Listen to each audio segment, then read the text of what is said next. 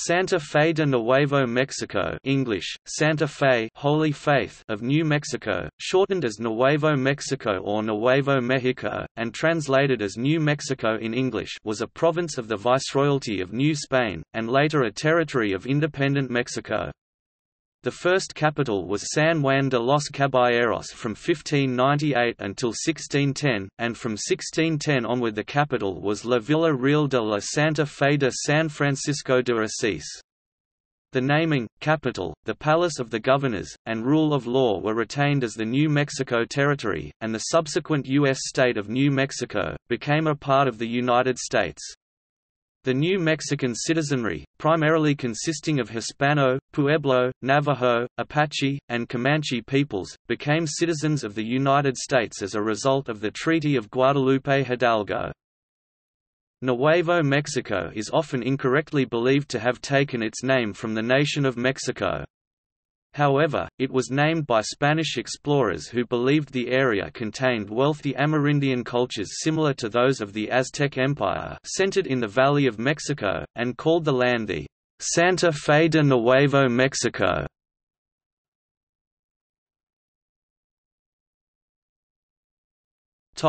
Geography Nuevo Mexico was centered on the upper valley of the Rio Grande Rio Bravo del Norte, from the crossing point of Onate on the river south of Ciudad Juárez, it extended north, encompassing an area that included most of the present-day U.S. state of New Mexico. It had variably defined borders, and included sections of present-day U.S. states, western Texas, southern Colorado, southwestern Kansas, and the Oklahoma Panhandle. Actual Spanish settlements were centered at Santa Fe, and extended north to Taos Pueblo and south to Albuquerque. Except for the first decade of the province's existence, its capital was in the foothills of the Sangre de Cristo Mountains at the ancient city of La Villa Real de la Santa Fe de San Francisco de Asís modern-day Santa Fe.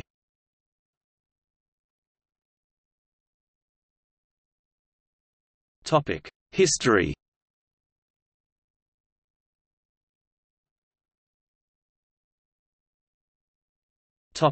Spanish colonial province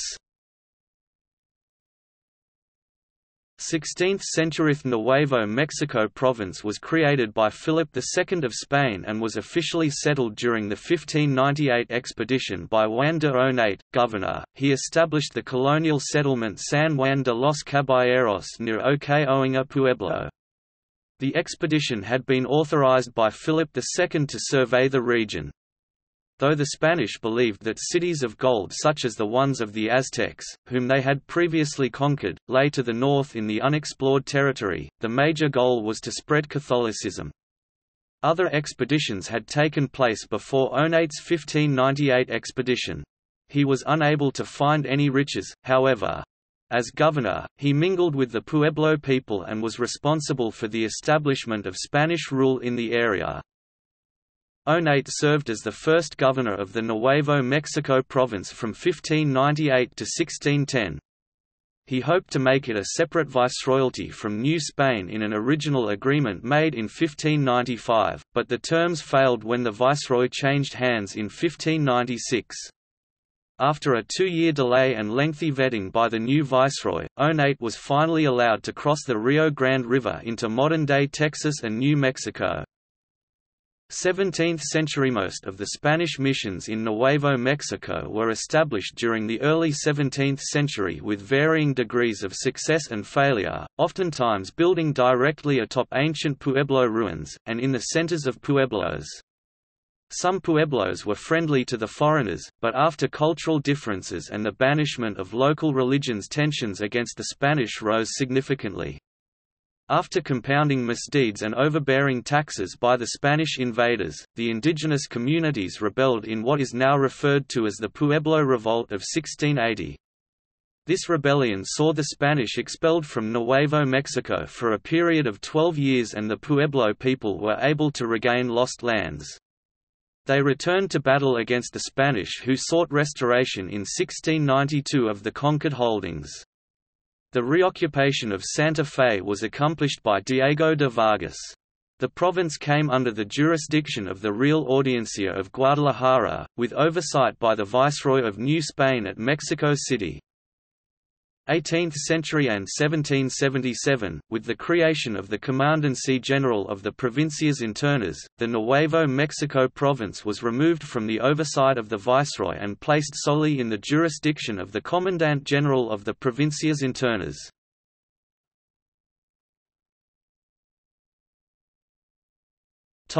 Mexican territory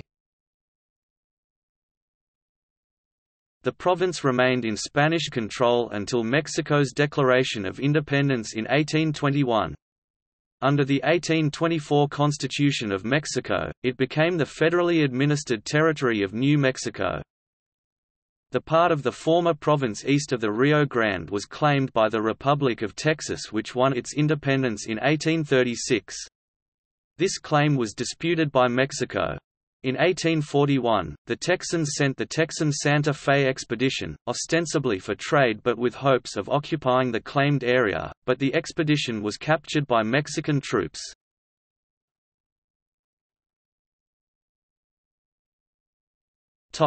American territory The United States inherited the unenforced claim to the East Bank with the Texas annexation in 1845. The U.S. Army under Stephen Kearny occupied the territory in 1846 during the Mexican–American War, a provisional government was established, and Mexico recognized its loss to the United States in 1848 with the Mexican cession in the Treaty of Guadalupe Hidalgo. Texas continued to claim the eastern part, but never succeeded in establishing control except in El Paso. However, in the Compromise of 1850 Texas accepted $10 million in exchange for its claim to areas within and north of the present boundaries of New Mexico and the Texas Panhandle. President Zachary Taylor and Abraham Lincoln both proposed that New Mexico immediately become a state to sidestep political conflict over slavery in the territories. New Mexico did not become a state until January 1912. See also